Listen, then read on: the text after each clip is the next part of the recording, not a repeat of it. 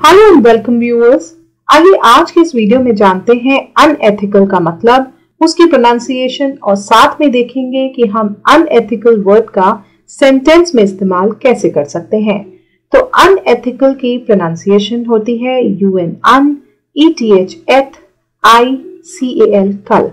Unethical ये ethical का opposite होता है, जिसका मैंने वीडियो बनाया है और मैंने लिंक डिस्क्रिप्शन में शेयर किया है। आप चाहें तो देख सकते हैं। अनएथिकल के सिनोनिम्स या समानार्थ शब्द होते हैं।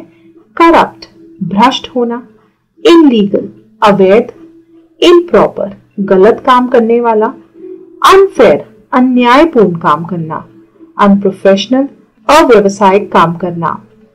अनएथिकल का मतलब होता है if you describe someone's behaviour as unethical you think it is wrong and unacceptable according to a society's rule और पीपल्स बिलीफ अगर आप किसी के व्यवहार को अनैतिक बताते हैं तो इसका मतलब है कि आपको लगता है कि यह समाज के नियमों या लोगों की मान्यताओं के अनुसार बिल्कुल गलत और अस्वीकार्य है।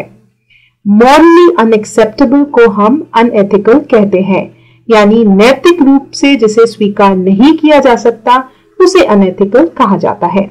आइए तो कुछ सेंटेंस एग्जाम्पल्स देखते हैं अनएथिकल वर्ड से।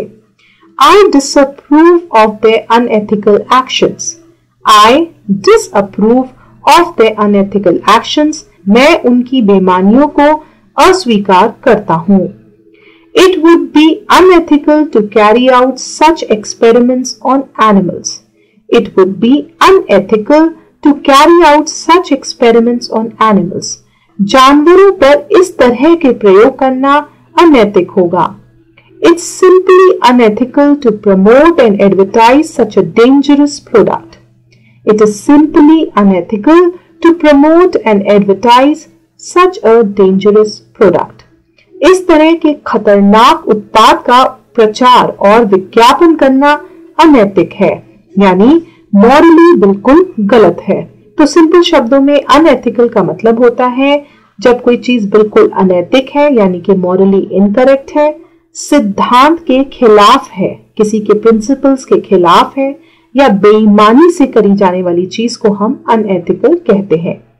अब आपकी बारी। नीचे कमेंट में आप अनएथिकल वर्ड से सेंटेंस बनाकर बताएँ। Thank you for watching this video meet you next time with new word until then, keep learning. Read lot of books and stay happy